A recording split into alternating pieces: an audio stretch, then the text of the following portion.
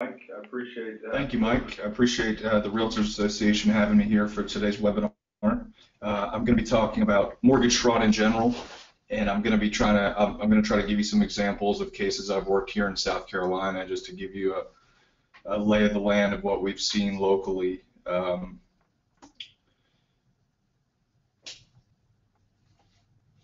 and as a sorry about that one of, one of my objectives here, as you'll see on the screen, is to introduce our agency to you if you don't know who we are, um, and to give you a better understanding of some of the most common fraud schemes applicable to HUD and FHA insured loans. Um, HUD OIG stands for Housing and Urban Development Office of Inspector General. Um, we are one of the original 12 offices of Inspector General that was uh, authorized by Congress in 1978 um, I'm going to be telling you a little bit about our mission. Um, we're an independent and objective organization. Our inspector general, who heads our agency, is uh, he is appointed by the president and he's confirmed by Congress. Um, our agency has several different functions. My side of the house is the uh, Office of Investigations. We're criminal investigators, and we do, you know, our primary mission is to investigate crime in any different fraud schemes against HUD. We also have an Office of Audit, which audits a lot of the different agencies, nonprofits, cities, and states that receive HUD funding to make sure that money's being spent for the for the way it was intended. Um, we also have a civil fraud division that investigates um, sort of uh, not criminal cases, but they'll go after some of the big banks if there's uh, widespread uh, mismanagement or, or, or, abuse in some of the, the HUD insured loan programs that could be systemic for the whole agency. Um,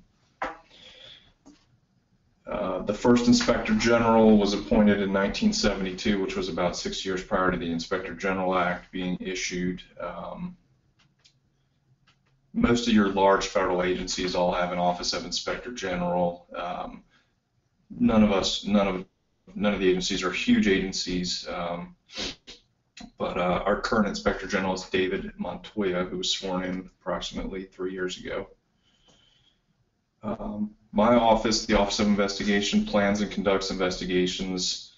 Um, we focus, uh, our focus could be on the integrity of the program, so sometimes we'll write what's called a systemic implication report, which is to tell the HUD program office um, that hey, there's a, there's an issue with this program that's being exploited, and, and hopefully uh, we can get the, the programs changed to fix any loopholes that are allowing criminal or civil fraud to go into our program.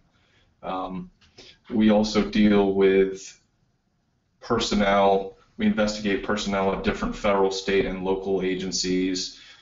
Wherever the HUD money flows, sometimes there's different people that may get their hands on it that aren't supposed to, and, and we'll investigate that, whether it's you know uh, state housing authorities, local housing authorities, different lenders. Um, we also investigate whistleblower retaliation and other matters involving alleged violations of law, rules, regulations, and policies these are our main, these are like our, our special agent in charge offices. These are the big offices. Uh, I'm part of the Atlanta, Georgia region. Uh, previously worked out of Baltimore, Maryland, and Washington, D.C., as Mike mentioned on my introduction.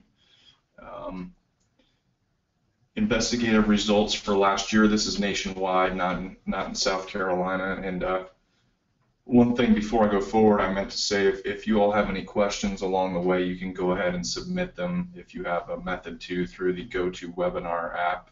And uh, I don't mind pausing to answer questions as we go along. Um, so last year's investigative results, um, this is nationwide, just for the Office of Inspector, just for the Office of Investigations. We recovered $88 million. Um, we made 333 arrests we were responsible for 393 indictments, 423 convictions, and 291 administrative sanctions.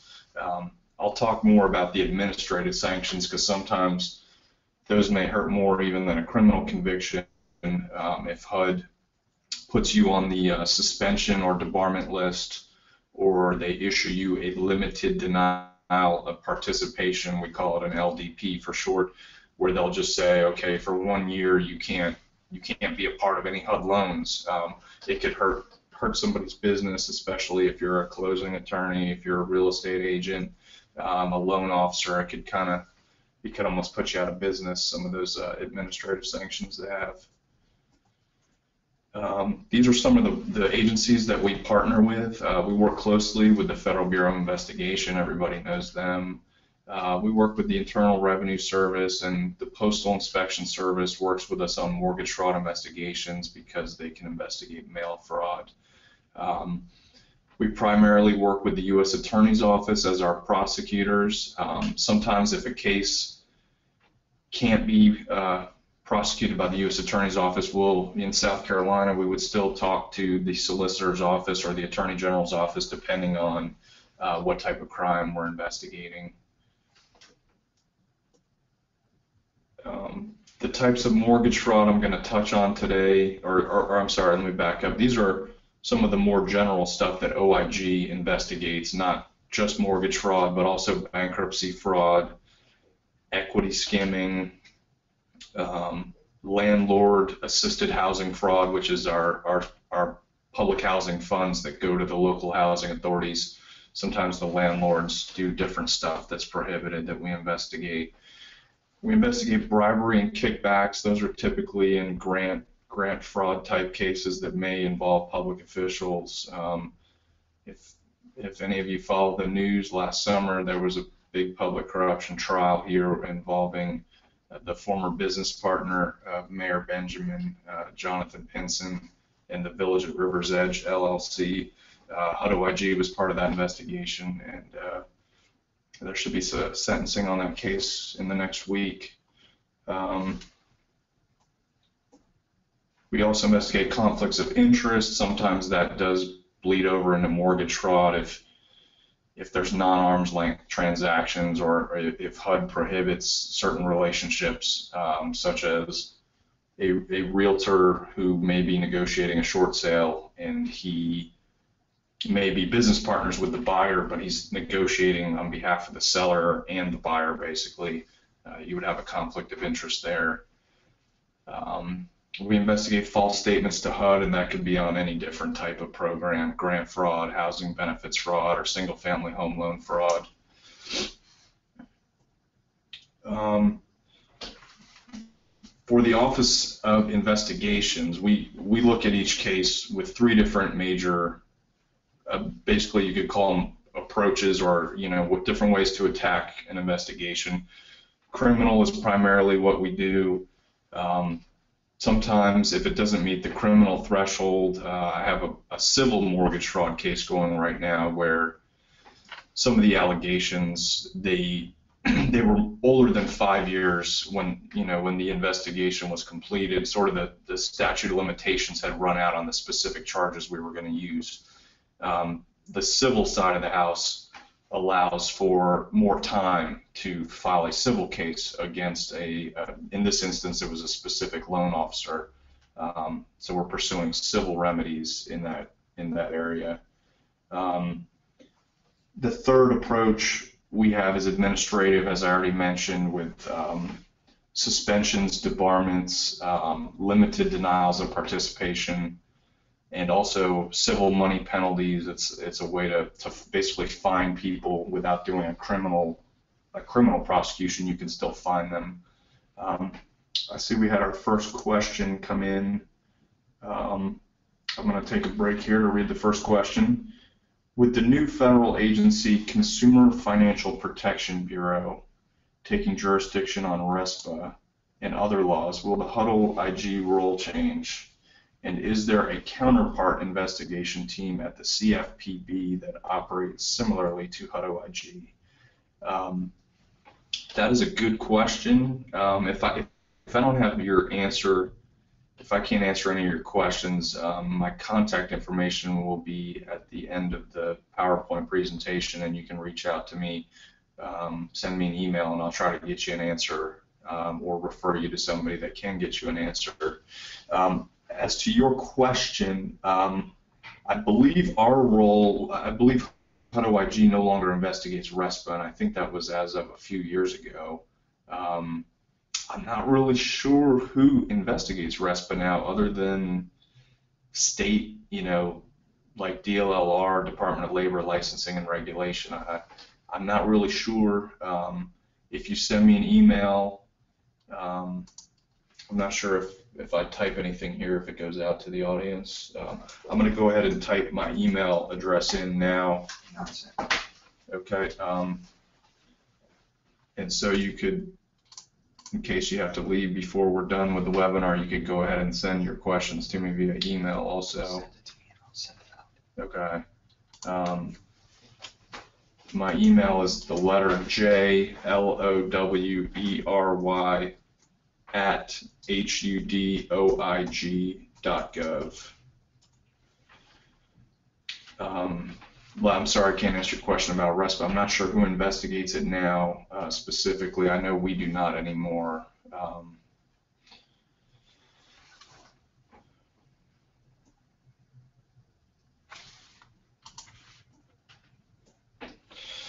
some of the administrative ac- actions I mentioned, um, suspensions from participation in HUD programs, debarment. Um, sometimes, like if, if we indict anybody that's in the real estate business, not necessarily realtors, but it could be loan officers, investors, um, closing attorneys. Once they're indicted, they'll be suspended until their case is fully adjudicated. If they're found guilty, um, the debarments are typically three to five years, or sometimes we might negotiate a lifetime debarment if, uh, if depending on, on the seriousness of their case. Um, we also have what's called the Program Fraud Civil Remedy Act, which is the mini False Claims Act. It's stuff that's under 125,000. Um, like I mentioned earlier, some of the administrative actions are worse than getting a criminal conviction if you if you're if you're doing business with HUD or or doing FHA loans. These are all the different types of people that we investigate. Um, I put real estate agents at the top. Um, I just put them there for this webinar, but we also investigate mortgage brokers, loan officers, appraisers, title companies, uh, HUD grantees or sub grantees, home buyers, and speculators. We typically stay away from home buyers, but um, sometimes some of them do things that are more egregious than a typical home buyer. Um, assisted housing landlords, um, all OIGs investigate their own employees, but some of them more than others. And for HUD, Office of Inspector General, we typically investigate the consumers of our programs, meaning people outside of the government. Um, we also investigate housing authority employees and housing authority board members. Um, in this section here, I'm going to give you a brief history of the Federal Housing Administration, which is uh, FHA for short. Congress, Congress created the FHA in 1934 and it became part of HUD in 1965. When the FHA was created, the housing industry was flat on its back. Um, millions of construction workers had just lost their jobs and the terms were too difficult for home buyers to meet in seeking mortgages where they were um, required to put 50% down instead of, you know, we might put 20% down today on a conventional or FHA, you only need 3.5% down. Um, America at the time was primarily a nation of renters where 4 in 10 households actually own their own homes. Um, by 2001, the nation's homeownership rate had soared to an all-time high of 68% as of the third quarter of that year. FHA and HUD have insured over 34 million home mortgages and 47,000 multifamily project mortgages since 1934, and those numbers have gone up. Uh, some of these numbers are a little dated. Um, the majority of FHA home buyers are first-time home buyers. FHA loans are for low to mid-income families, but um, nowadays everyone's getting FHA loans. Um, for persons who may not qualify for a conventional loan, you may not have, you may have just sold a house and lost money or been upside down on your previous house, so you may not have the equity or the down payment liquid to put down for a conventional loan. So FHA is a really common loan program right now. There's also down payment assistance grants that go out through various cities, counties, and nonprofits where um, different those entities get HUD funding to provide down payment assistance to qualified people. And, I, and I've even seen some of these programs in South Carolina, so they're out there. If, if you ever have some buyers that, that might need down payment assistance, you can refer them to the local local uh, economic development offices to see if they qualify for the programs. Uh, let's talk about some mortgage fraud now. I'm going to give you some of the different schemes in general that I've seen, and some I, may have examples that I've seen in South Carolina. Loan origination fraud, that's just a big category. It could be um, it could be loan officers doing things they're not supposed to do. It could be uh, in South Carolina. A lot of the fraud I've seen it involves investors who um, are, are flipping properties, and everyone knows there's you know there's nothing illegal with flipping properties. You know everyone wants to buy low and sell high, but some of the investors that I've seen in South Carolina that I've had investigations on, um, they're doing everything in their power to get the buyers. They're going out and finding their own buyers. They're not using real estate agents, but they're going out and finding their own buyers by advertising in local community newspapers or country newspapers.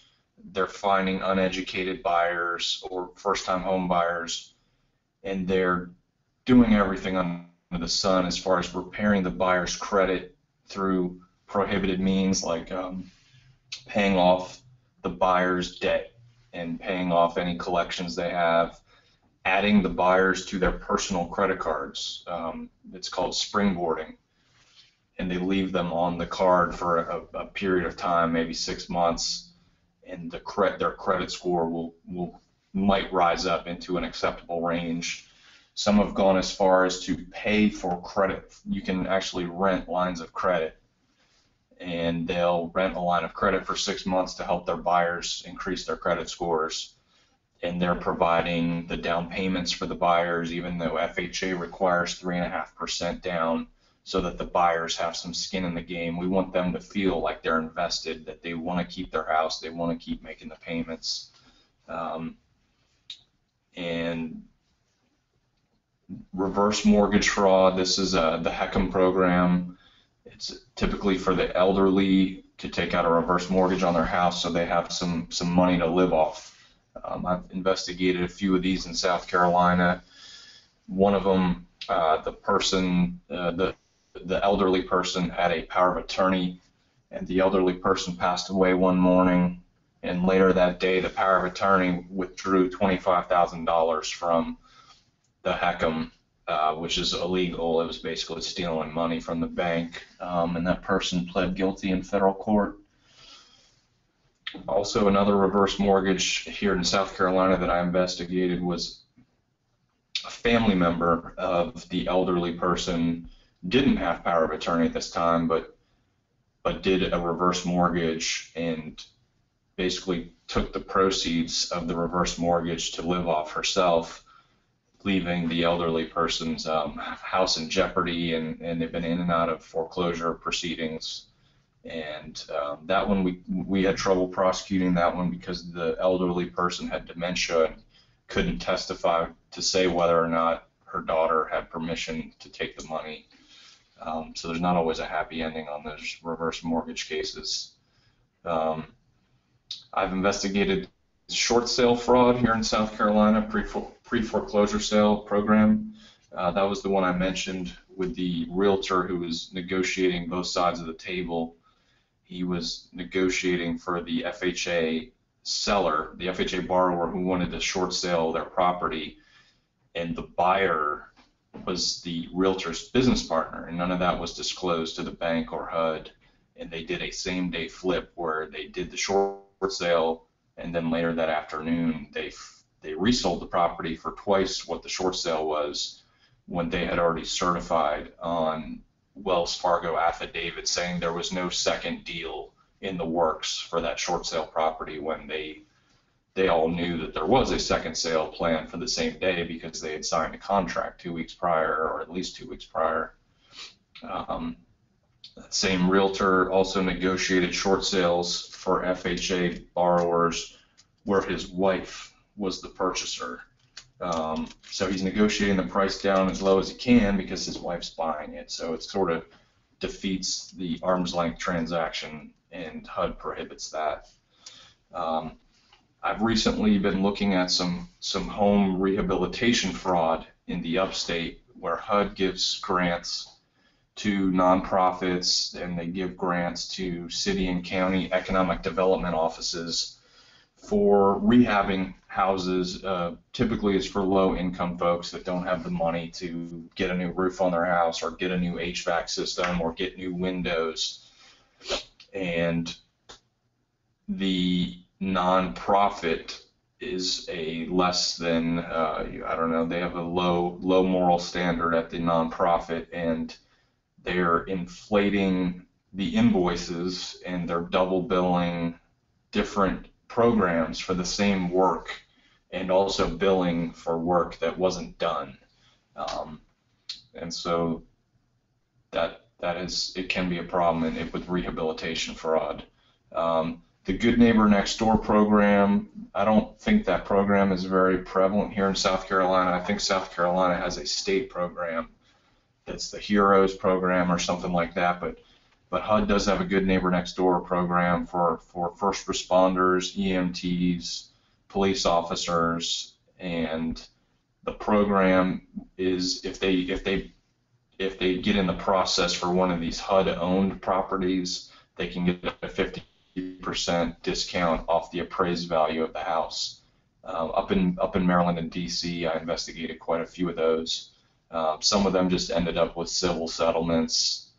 Um, not too many of those went criminal because it's hard to prove it. You know, it's hard to say. You know, someone plans on moving into the property and then their life circumstances change. But typically, that program requires you to live in the house for three years, and you have to do annual certifications to HUD saying you still live there. And sometimes people use those those properties that they get at 50% off for rental properties. Um, Another type of case I investigated here in South Carolina down payment assistance fraud, where somebody was getting a, a house through one of the CHDO uh, housing development programs, and they were supposed to move into it. They didn't move into it for several years. They rented it out. They they falsified living there, and uh, so they basically took advantage of the program and in the meantime, it was an FHA loan also, so we were kind of getting hit from from multiple sides on that case. Um, equity skimming and foreclosure rescue, I'll, I'll get into more of that in, in one of the next slides. Um, as I mentioned, loan origination fraud. I've seen a lot of false gift letters here in South Carolina, and those are on the type of cases where an investor or a speculator are sort of handling the buying and selling without without realtors uh, being used. Um, typically, the borrower is not related to the person on the gift letter on some of these fraudulent ones. The person on the gift letter may or may not actually exist, um, or they're just not truly related to the buyer as required by FHA. Um, and the gift giver is it's person it's the person selling the property, so they're just doing this to disguise who's actually giving the money to the buyer.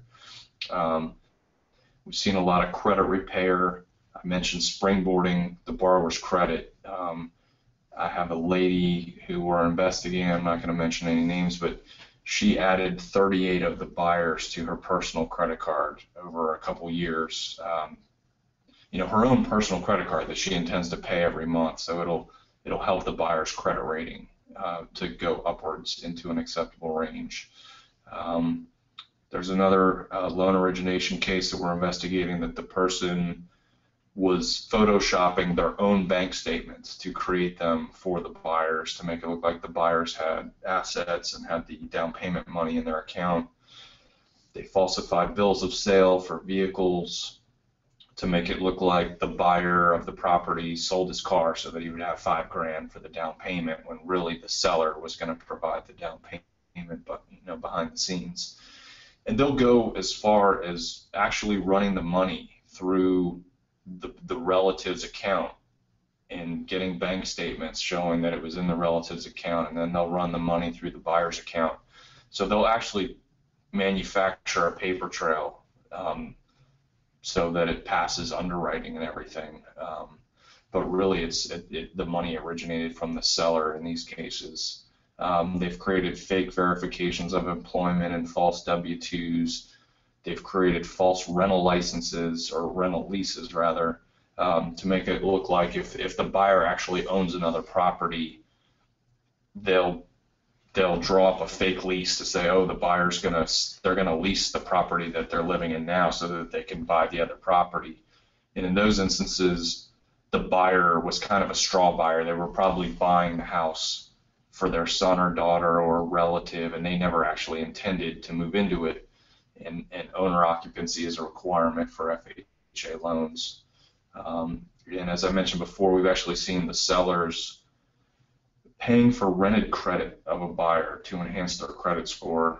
Um, there's some company, I don't know if anyone's heard of it, but it's uh, like, uh, I forget what it's called. It's like buymycredit.com or, I mean, there's different, there's different websites that you can actually buy. You can actually rent credit and you can choose, you know, you want to, you want to get an American Express, you know, account with 25,000. You can, you can pay more for a higher credit limit and that'll actually help the people running the credit more. Their, their score will improve more. Um, reverse mortgage fraud, as I mentioned before, this is a, a, program for the elderly. It usually involves somebody close to the elderly person taking advantage of them. Um, the bank is the victim sometimes if, if the withdraw, withdrawal is made after the mortgager is deceased. Um, they're basically stealing money from the bank or they're stealing money from their other relatives if there's a, a will and testament involved for that person for their passing. They could actually be stealing money from their brothers and sisters. Um, we talked about short sale fraud. Um, I've heard of this being a problem in other states. I, I, I, haven't seen too much of it here, and sometimes you know, the reason we do these type of presentations is to to get some some knowledge out there of, of what type of schemes are out there and, and to try to get some case case leads from from you all that are out there seeing different stuff every day. Um, but a short sale, everyone, I would assume everyone knows what a short sale is, and just sometimes these are manipulated by somebody that intends to buy, you know, to sell low, and and and they'll they try to flip them, and sometimes the flip is legitimate. Sometimes they'll they you know they're not supposed to be an interested party to the transaction, and that's where it gets into some fraud. But if somebody buys a short sale, fixes it up, and resells it, there's nothing wrong with that as long as they're not negotiating it. as long as they they don't have an interest in if they're representing the seller. Um, home rehab fraud, I talked about this in the upstate. Um, this can be, these aren't huge frauds like, like typical loan origination fraud, but it can be in padding of invoices and inflating invoices. And when you get into the double billing where you're sending a bill to, to uh, somebody like South Carolina Housing Trust and you're also sending a bill to the federal home loan banks for the same work, um, it can really increase the amount of money that the government's going to lose. Um, like I mentioned, the Good Neighbor Next Door program. It's a HUD program for first responders, nurses, EMTs. Um, they're basically buying a HUD REO property at half half the value of its appraisal. They have to reside in it for three years, or or if they self-report that they're moving out before their three years are up, um, they can repay a portion of the down payment assistance that they got by only having to pay 50% of the proceeds. And like I mentioned, I haven't really seen this program in South Carolina, so I don't know that it's really being used here. I don't know if the state program is more beneficial to the buyer. Um, I'm not really too familiar with this, the state program. Um, but when we see fraud in this program, it's typically that the buyer or the program participant is falsely certifying that they're still they're still occupying the property as as they're supposed to for three years. Each year there's a certification, and I've seen cases um, in Baltimore where they actually did live there for a year, And then if you if you subpoena the uh, the power records, you can see that they started renting it out at, at a certain point in time or something. Um, down payment assistance fraud. Participant receives HUD funds for their down payment through an intermediary with a residency requirement. I know here in Columbia, in the Columbia area, like Richland, Richland County Economic Development Office, um, I know they have a program. I'm, I'm sure most counties have some type of program, and some of the some of the requirements vary, um, whether or not they have to be a first-time home buyer, um, or whether or not the, the, amount of time they have to live there. Uh, the down payment assistance is typically a forgivable grant that if they live there for 10 years, then the 15 grand or the 10 grand they got as down payment assistance is forgiven. They don't have to repay HUD or the county um, for the funds. Um, I had one here in the in the Columbia area that the person they never intended to use the property as their their primary residence, and it was basically an investment property. Equity skimming and foreclosure rescue. I haven't seen a lot of this in South Carolina. Um, but this is when the property, someone, you know, a foreclosure rescue artist, they'll do research, they'll see that a property has equity, and they'll find a distressed mortgager, somebody who's having financial trouble. Sometimes they they'll do this through churches or community groups. Is how they figure out. They get a lot of information about people. They'll they'll approach the person who's struggling with their mortgage and they'll promise to pay them and, and start making they'll, they'll promise to take over the mortgage payments um, and they'll quit claim deed the property to themselves. Um, they won't make the mortgage payments. Sometimes they even kick out the homeowner and they tell them that they're going to rent out their property for them. And then they don't make any tax payments, they don't make the insurance escrow payments. Uh, sometimes they might even rent it out to somebody under the Section 8 program, so then they're getting a check from the city or county also that administers the program. And within a year or two, um, you know, within a couple months, they're going to start getting foreclosure letters, um, and they would try to hide those from the true owner. And the true owner, um, the invest when the investor fails to make the payments, sometimes the investor will f- file false bankruptcies to just they just want to drag it out as long as they can so they can keep getting payments from Section 8 or from an actual renter, from a, a paying renter. Um, it results in def- an eventual default and a foreclosure, eviction of tenants. Uh, sometimes the properties just they get burned out or abandoned. Um, and any fraud against FHA uh, it's it's taxpayer money that has to pay back the banks. You know, FHA loans are, are government insured loans where the government is saying we will pay the bank back if there's a foreclosure on this on this loan. The impact of mortgage fraud, defaults, and foreclosures, um, your property value and your tax dollars suffer. There's legal costs, you know, with any foreclosure and bankruptcy, there's there's legal costs to FHA, to the borrowers, to the banks. Um, it affects the secondary market for the securities when the mortgages are sold in securities. Um, it takes money out of the FHA insurance fund, which is all taxpayer money. It sometimes creates an artificial real estate market. I want to show you some pictures here. Um, I think these are from like Chicago or Detroit, but you know, this is this can be the result. You know, when of foreclosures. You, I mean, you wouldn't want these in your neighborhood. Um, just abandoned properties, and, and a lot of the everything gets stripped out of them. This one is, I think, a three three pictures of, a, of this house going into the tank. Here's the first one. Oh, there's there's the first one. It still it looks like a nice decent house there, and then it just goes downhill when it's burned out. Part of the purpose of this webinar is to tell you that you know you can report mortgage fraud to HUD Office of Inspector General. Um, I cover the whole state and we have more agents in Atlanta and in North Carolina, and uh, but you can always call. My my desk number here is listed. Uh, my email address is listed, and also the the email the uh, web address for our agency hudoig.gov.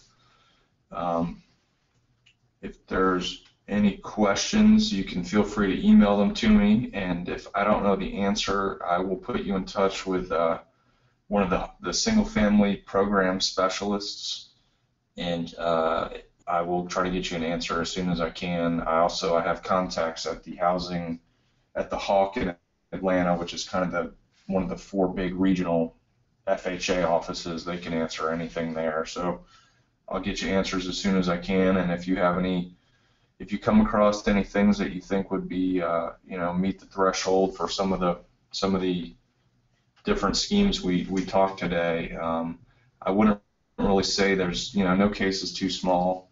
Um, I just got a question. Does your, does our agency investigate wire fraud? We do. That wire fraud is frequently used with mortgage fraud. Um, when we talk about mortgage fraud, there's no there's no federal mortgage fraud charge. I mean, you're going to be charged with wire fraud or mail fraud. Um, there's a few different HUD charges that are uh, false statements to HUD or false statements on HUD transactions, but typically there's going to be a wire fraud or a mail fraud that goes with any mortgage fraud case. Uh, sometimes conspiracy, a lot of these things, it's hard to do mortgage fraud by yourself, so we always look for who else might have been involved with, with helping you. But yes, we do investigate wire fraud. Um, if there's any other questions out there, feel free to, to send them in via the chat on the GoToWebinar app. Um, you can also email them to me, and I will um, I'll get back to you as soon as as soon as I can. Um,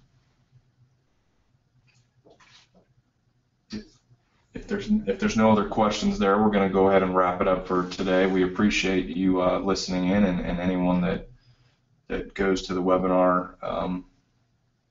The webinar uh, historical uh, Archive. the archive. We appreciate you watching and give us a call if you have any questions or if you uh,